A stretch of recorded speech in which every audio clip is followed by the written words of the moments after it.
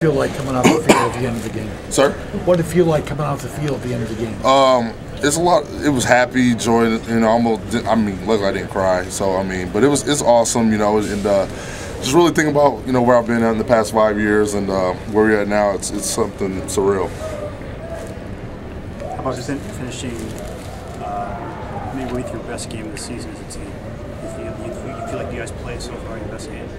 Uh, I'm not sure. I mean, we got one more game, so hopefully, you know, we can have make the next game our best game.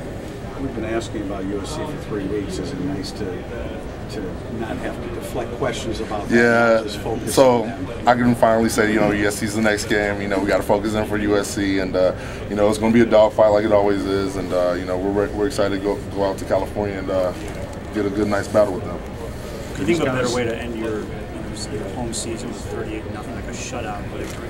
Yeah, it's it's awesome. You know, uh, with defense, you know, you want to keep the points off the board, and I think tonight we kept the points off the board, obviously. So uh, you know, we just want to uh, we want to keep taking small steps forward and being the number one defense.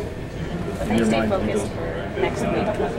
How- I mean, you're 11 and 0. How do you maintain? Oh, it's USC, so you really don't need to, uh, you know, kind of get everybody riled up because you know when it's a rivalry game, you know, you really don't need a lot of talking to get people excited about this game.